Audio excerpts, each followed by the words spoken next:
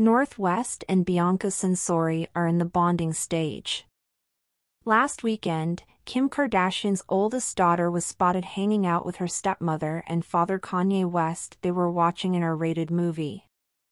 The family was spotted at the cinema hall buying tickets for the upcoming Marvel movie Deadpool and Wolverine. Welcome to Star Updates. If you're new here, please like and subscribe and hit the notification bell so you stay up to date about buzzing updates and hot gists from Kardashians and your favorite celebrities. Yeah, try to keep a low profile, wearing an all-black outfit with a hoodie.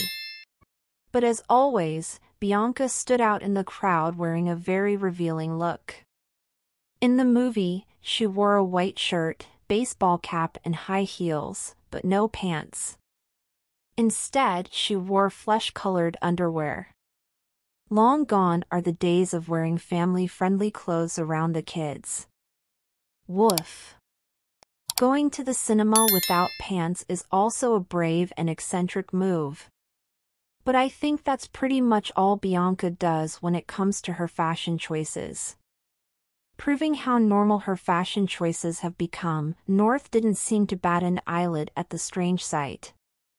Instead, the 11-year-old boy who was wearing denim shorts and an oversized sweatshirt was seen hugging the Yeezy building designer. While waiting in line, the model had her arm around North's shoulders and looked out the window.